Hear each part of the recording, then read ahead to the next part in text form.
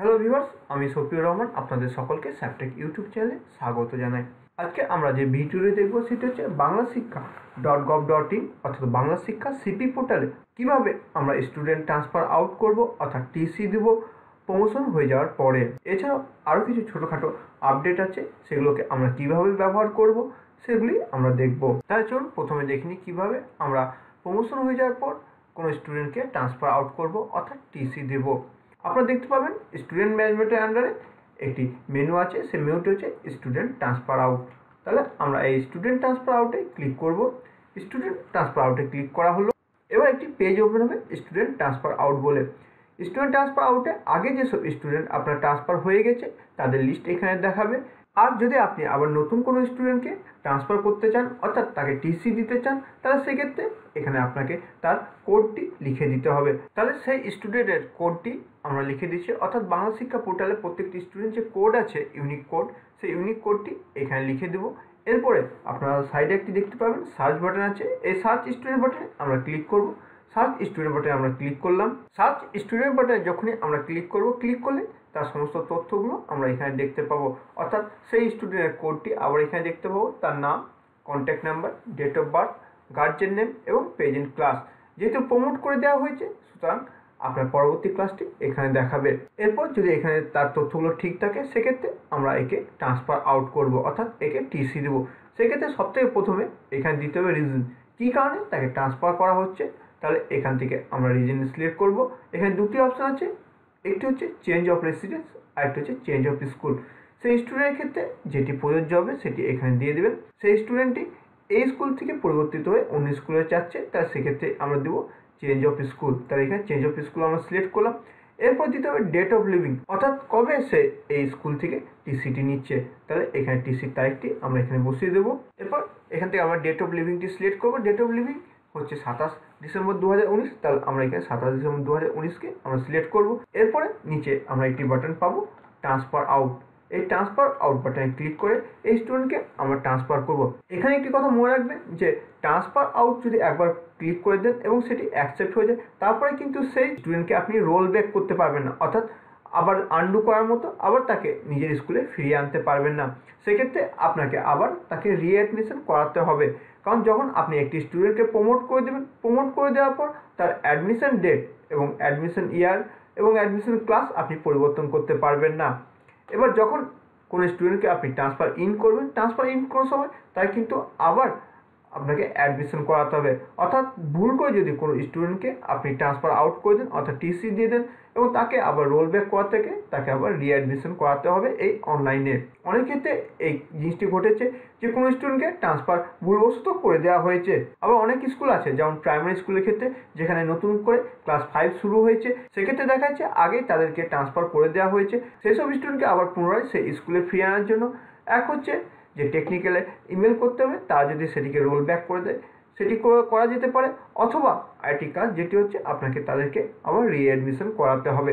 Readmission করানো মানে কিন্তু নতুন করে আবার সমস্ত তথ্য দেওয়া নয়। এক্ষেত্রে শুধু আবার আমাদেরকে সেই স্টুডেন্টকে আবার ট্রান্সফার ইন করতে হবে এবং তার কিছু তথ্য দিতে হবে, যেটি আমি পরে ট্রান্সফার ইনের সময় দেখাবো। তাহলে এই স্টুডেন্টের ক্ষেত্রে আমি ট্রান্সফার আউট করছি। তাহলে এখানে আমরা ট্রান্সফার আউট যে বাটন আছে, সেই ট্রান্সফার আউটে ক্লিক করব।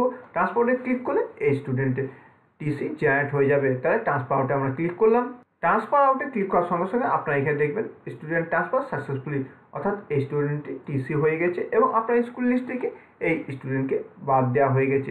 এরপরে আপনি নিচে দেখতে পাবেন ট্রান্সফার স্টুডেন্টের লিস্টে ট্রান্সফার স্টুডেন্টের লিস্টে সেই স্টুডেন্টের নাম চলে এসছে। এবার আপনাকে যে কাজটি করতে হবে, সেই কাজটি হচ্ছে আপনাকে সেই স্টুডেন্ট টিসিটিকে ডাউনলোড করতে হবে এবং সেটিকে প্রিন্ট আউট করতে হবে। প্রিন্ট আউট করার পর সেখানে হেডমাস্টার মশাই সাইন করবেন এবং গার্জেন অ্যাকনোলজমেন্টে সাইন করে অ্যাকনোলজ অংশটি নিয়ে সেই টিসিটিকে গার্জেনের হাতে বা সেই স্টুডেন্টের হাতে দিয়ে দেওয়া হবে। তাহলে এবার আমরা দেখে নিই কীভাবে আমরা এই টিসিটিকে ডাউনলোড করব। তাহলে এখানে একটি ডাউনলোড বাটন পাবে। এই ডাউনলোড বাটনে আমরা ক্লিক করলাম। ডাউনলোড বাটনে ক্লিক করলে এখানে সেই স্টুডেন্টের ট্রান্সফার সার্টিফিকেট জেনারেট হয়ে যাবে এবং এখানে আপনারা দেখতে পাচ্ছেন head of the institution with seal এখানে হেডমাস্টার মশাই সিগনেচার করবেন এবং স্কুলের যে সিল আছে সেই সিল দেবেন। এখানে তারিখটি দেবেন। এরপরে নিচে আপনারা যান। নিচে আমরা দেখতে পাবো acknowledgement or receipt of transfer certificate অর্থাৎ যিনি এই ট্রান্সফার সার্টিফিকেটটি গ্রহণ করছেন, তার সিগনেচার অর্থাৎ তার সাথে যে গার্জেন আসবে, সেই গার্জেনের সিগনেচার এখানে দিবেন এবং এখানে ডেট দেবেন। যখন এই ট্রান্সফার সার্টিফিকেট সেই গার্জেনের হাতে ট্রান্সফার করবেন, সেক্ষেত্রে এই নিচের যে অংশটি আছে, এখান থেকে যে অংশটি, এই অংশটি কেটে নিজের কাছে রেখে দেবেন, অর্থাৎ স্কুলের কাছে। এই অংশটি থেকে যাবে অ্যাকনোলজমেন্ট হিসাবে যে আপনি এই গার্জেনকে ট্রান্সফার সার্টিফিকেট দিয়ে দিয়েছেন। এবার কি করতে হবে সেটি বলে দেবেন। এবার প্রিন্ট করার জন্য এখানে যে প্রিন্ট বাটন আছে, এই প্রিন্ট বাটনে ক্লিক করবেন। যে সরাসরি প্রিন্টার কানেক্টেড থাকে, তাহলে প্রিন্ট বাটনে ক্লিক করে আপনার সেটিকে প্রিন্ট করে নিতে পারবেন। অথবা এটিকে যদি উইন্ডোজ টেন বা উইন্ডোজ এইট পয়েন্ট ওয়ান ব্যবহার করেন, সেক্ষেত্রে আপনি পিডিএফ মোডে এটিকে সেভ করে রাখতে পারবেন। আমি দেখিয়ে দিচ্ছি কীভাবে আপনার পিডিএফ মোডে এটিকে সেভ করে রাখতে পারেন এবং পরবর্তীকালে সেটিকে প্রিন্ট করতে পারেন। তাহলে এখানে প্রিন্ট অপশানে ক্লিক করুন। প্রিন্ট অপশনে ক্লিক করলে এখানে আপনারা একটি অপশন পাবেন প্রিন্টারের মধ্যে Microsoft print to PDF Microsoft print to PDF এই অপশনটি সিলেক্ট করে আপনারা যে প্রিন্ট করে প্রিন্ট করলে পরে এটি পিডিএফ আকারে সেই পিসিতে সেভ হয়ে যাবে। তাহলে আমরা এখানে এটিকে পিডিএফ মোডে সেভ করার জন্য প্রিন্টে ক্লিক করলাম। এরপর যেখানে আপনি সেভ করতে চাইছেন, সেই ফোল্ডারটিকে ওপেন করুন এবং এখানে সেই ফাইলে একটি নাম দিন, আমি এক দিলাম, এবার সেভ করুন। তাহলে এখানে সেভ বাটনে ক্লিক করলাম। সেভ বাটনে ক্লিক করলে এই ফাইলটি সেভ হয়ে যাবে। আপনার ল্যাপটপে বা পিসিতে বা আপনার মেশিনে পরবর্তীকালে আপনি এটিকে যে কোনো প্রিন্টার থেকে প্রিন্ট করে নিতে পারেন। তাহলে এটি গেল কীভাবে আপনার কোনো একটি স্টুডেন্টকে ট্রান্সফার আউট করবেন বা টিসি দেবেন। ট্রান্সফারিং কীভাবে? একটি ছোট্ট উদাহরণের মাধ্যমে আপনাদের দেখিয়ে দিই। তাহলে ট্রান্সফারিংয়ের জন্য স্টুডেন্ট ট্রান্সফারিংয়ে আমরা ক্লিক করব। তাহলে স্টুডেন্ট ট্রান্সফারিংয়ে আমরা ক্লিক করলাম। ট্রান্সফারিংয়ে ক্লিক করলে আগের মতনই একটি পেজ ওপেন হবে, যেখানে আমাদের স্টুডেন্টের কোডটি দেওয়া হবে। আপনার স্কুলে কোনো স্টুডেন্ট যখন ভর্তি হতে আসবে, তখন অনলাইনে যে টিসি সার্টিফিকেট জেনারেট হয়েছে সেই টিসি সার্টিফিকেট নিয়ে আসবে। সেই টিসি সার্টিফিকেটে তার স্টুডেন্টের ইউজার আইডি বা স্টুডেন্ট কোডটি থাকবে। সেই স্টুডেন্ট কোডটি এখানে দিন। তাহলে সেই স্টুডেন্ট কোডটি আমরা এখানে দিয়ে দেবো এবার সার্চ স্টুডেন্ট ক্লিক করব। তাহলে আমরা এখানে সার্চ স্টুডেন্ট ক্লিক করলাম। সার্চ স্টুডেন্ট ক্লিক করলে সেই স্টুডেন্টের তথ্যগুলো এখানে দেখিয়ে দেবে। এখনই আমরা স্টুডেন্টকে ট্রান্সফার আউট করেছি, আবার সেটিকে ট্রান্সফার ইন করার চেষ্টা করছি। কিন্তু আমি পুরোপুরি প্রসেসটি করব না, কারণ এই স্টুডেন্টকে যদি আবার ট্রান্সফার ইন করি, তাহলে আমার স্কুলে আবার ফেরত চলে আসবে। এরপরে তার সাথে এই স্টুডেন্টের কিছু তথ্য আমাদেরকে দিতে হবে। তার মধ্যে সবথেকে প্রথমে যে তথ্যটি দিতে হবে, সেই তথ্যটি হলো তার একাডেমিক ইয়ার সে কোন একাডেমিক ইয়ারে ভর্তি হচ্ছে দু হাজার কুড়ি। একটু আগে আমি বললাম যে, অনেক স্কুল আছে যারা ভুল করে কোনো স্টুডেন্টকে ট্রান্সফার আউট করে দিয়েছে তাদেরকে। এখানে যেমনভাবে দেখাচ্ছি, সেইভাবে করলে পরে আপনি তাকে আবার নিজের স্কুলে ভর্তি করে নিতে পারবেন। এরপরে তার অ্যাডমিশন নাম্বারটি দিতে হবে। যে অ্যাডমিশন নাম্বার হবে, সেই অ্যাডমিশন নাম্বারটা এখানে দিবেন। কবে সেই স্টুডেন্টটি ভর্তি হচ্ছে, সেই ডেটটি এখানে দিতে হবে। তাহলে এখানে আমি দশই জানুয়ারি করে দিলাম। এরপর প্রেজেন্ট ক্লাস তার প্রেজেন্ট ক্লাস কি, সেটি এখান থেকে সিলেক্ট করতে হবে। প্রেজেন্ট ক্লাস অর্থাৎ বর্তমানে সে কোন ক্লাসে পড়ছে, ভুল করে আপনি কোনো স্টুডেন্টকে ট্রান্সফার করে দিয়েছেন, তাহলে এখন তার যে ক্লাসটি আছে, সেই ক্লাসটি দেবেন, অর্থাৎ ক্লাস সেভেন এরপরে প্রেজেন্ট সেকশন প্রেজেন্ট কোন সেকশনে সেটি আপনি এখান থেকে দেবেন। এরপর আছে প্রেজেন্ট স্ট্রিম প্রেজেন্ট স্ট্রিম দেওয়ার দরকার নেই।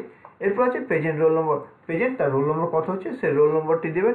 এরপরে নিচে একটি বাটন আছে ফেচ ফ্রম ড্রপ বক্স এই ফেচ ফ্রম ড্রপ বক্সে ক্লিক করলে পরে এই স্টুডেন্টটি আপনার স্কুলে নথিভুক্ত হয়ে যাবে। দু হাজার কুড়ি অ্যাকাডেমিক ইয়ারে এখানে একটি কথা বলে দেওয়া ভালো, সেটি হচ্ছে যে আমরা যখন কোনো স্টুডেন্টকে ট্রান্সফার আউট করছি, সেই ট্রান্সফার আউট স্টুডেন্টটি কিন্তু কোনো স্কুলে আর থাকছে না। যতক্ষণ পর্যন্ত না কোনো একটি স্কুল তাকে ট্রান্সফার ইন করাচ্ছে, ততক্ষণ পর্যন্ত সে একটি পুল বা একটি জায়গাতে থাকছে। সেই জায়গাটিকে বলা হচ্ছে ড্রপ বক্স এই ড্রপ বক্সে সমস্ত ট্রান্সফার আউট স্টুডেন্টরা থাকছে, যতক্ষণ পর্যন্ত না অন্য কোনো স্কুল সেই স্টুডেন্টকে তার স্কুলে অন্তর্ভুক্ত করছে। যখন কোনো স্টুডেন্ট এই ট্রান্সফার পুলে থাকবে, অর্থাৎ এই ড্রপ বক্সে থাকবে, ততক্ষণ পর্যন্ত তাকে না বর্তমান স্কুলের লিস্টে দেখাবে, না অন্য কোনো নতুন স্কুলের লিস্টে দেখাবে। সে কিন্তু কোনো স্কুলের লিস্টে অন্তর্ভুক্ত থাকবে না। আশা করি আপনারা বুঝতে পেরেছেন এই লাইভ সাইটে কীভাবে আপনারা ট্রান্সফার ইন এবং ট্রান্সফার আউট করবেন। অর্থাৎ কীভাবে আপনার কোনো স্টুডেন্টকে আপনার স্কুল থেকে টিসি দেবেন এবং একইভাবে অন্য কোনো স্কুল থেকে অনলাইন টিসি নিয়ে আপনার স্কুলে ভর্তি হতে এলে কীভাবে আপনি তাকে বাংলা শিক্ষা পোর্টালে অ্যাড করবেন নিজের স্কুলে। আশা করি এই ভিডিও আপনাদের ভালো লাগবে। যদি এই ভিডিও ভালো লাগে, অবশ্যই ভিডিওকে লাইক করুন শেয়ার করুন এবং এই চ্যানেলকে অবশ্যই সাবস্ক্রাইব করতে ভুলবেন না। এবং এই চ্যানেলে থাকা যে কোনো ভিডিও বা এই ভিডিও সম্পর্কে কোনো প্রশ্ন, কোনো সাজেশন বা ফিডব্যাক থাকলে অবশ্যই এই ভিডিও কমেন্টে কমেন্ট করুন। আমি চেষ্টা করব সমস্ত প্রশ্নের উত্তর দিতে। আর আরও একবার মনে পড়ে দিই, আপনারা যদি এখনও এই চ্যানেলকে সাবস্ক্রাইব না করে থাকেন, তাহলে সাবস্ক্রাইব বাটনে ক্লিক করে এই চ্যানেলকে সাবস্ক্রাইব করুন এবং এরপর যে ঘণ্টা আসবে সেই ঘন্টায় ক্লিক করুন যাতে এই চ্যানেলে আপলোড করা নতুন ভিডিও নোটিফিকেশনগুলো আপনাদের কাছে পৌঁছায় এবং আপনারা সেগুলো দেখতে পারেন।